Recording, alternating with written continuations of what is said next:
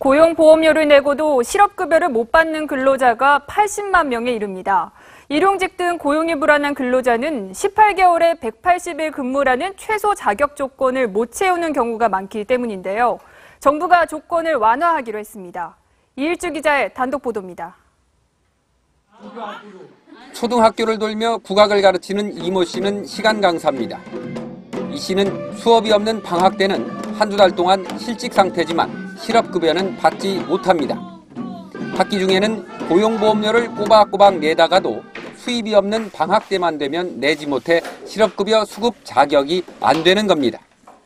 수입이 있을 때는 고용보험료를 꼬박꼬박 내는데 실직 상태일 때 실업급여를 받지 못한다면 왜 고용보험을 가입을 해야 되는지 모르겠어요. 주로 방학 때 아르바이트를 하는 학생들과 주말과 휴일에만 일하는 단기 근로자도 마찬가지입니다. 정부는 지난해 원치 않는 실직 상태에서도 실업급여를 받지 못한 근로자가 최대 80만 명에 이르는 것으로 추산하고 있습니다. 이들에게도 실업급여 혜택을 주기 위해 현재 18개월 동안 최소 180일을 일해야 하는 수급 자격 조건을 24개월로 완화하는 방안을 추진할 계획입니다.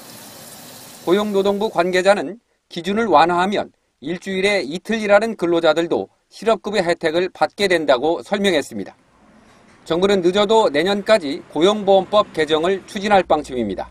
TV조선 이일주입니다.